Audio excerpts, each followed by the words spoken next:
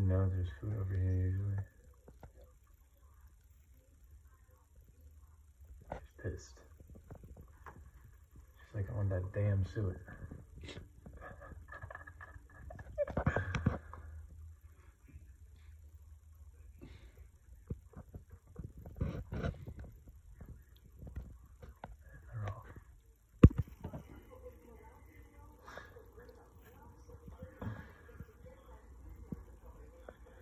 I can't believe how small that thing is.